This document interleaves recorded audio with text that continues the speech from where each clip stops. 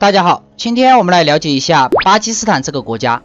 巴基斯坦被我国称为巴铁。二零零八年汶川地震期间，他将库存的全部帐篷无偿支援给了四川，这份恩情至今被我们铭记在心。如今巴基斯坦不幸遭遇百年不遇的洪涝灾害，我们捐赠的帐篷也在源源不断的通过飞机输往该国。巴基斯坦人口二点一亿。面积为七十九点六万平方公里，不包括巴控克什米尔地区。当然，如果包括巴控克什米尔地区的话，则为八十八万平方公里。首都在伊斯兰堡。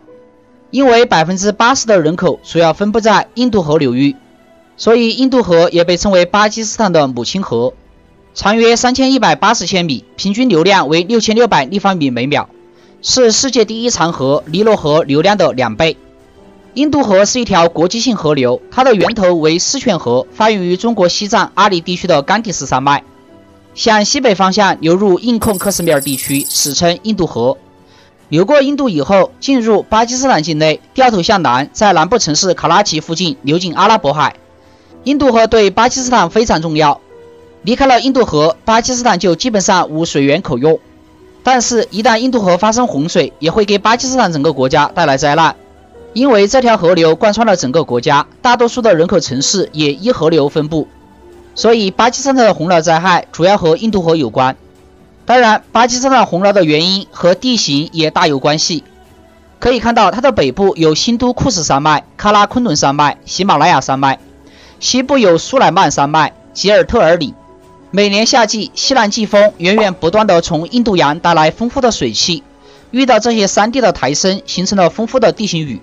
强降水从山区宣泄而下，形成特大山洪，进入印度河平原，而平原地区地势低洼，排水不畅，又形成了平原的洪水。特别是今年，全球很多地方气候异常，很多国家高温干旱，而巴基斯坦则降雨不断。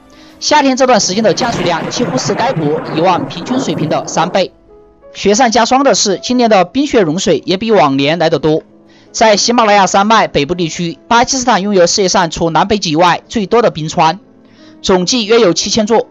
受全球变暖的影响，夏季大量冰川融化，形成了成千上万个冰川湖。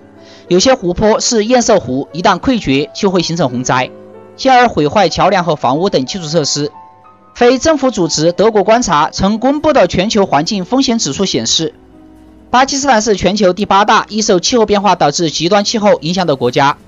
联合国开发计划署也曾表示，随着全球的气候变化，巴基斯坦面临酷暑、干旱、洪涝和融化的冰川等一系列气象灾害的风险越来越大。所以说，巴基斯坦这次的洪涝也是全球气候变化的一个缩影，也提示我们人类只有地球一个家园，一定要共同保护好地球的环境。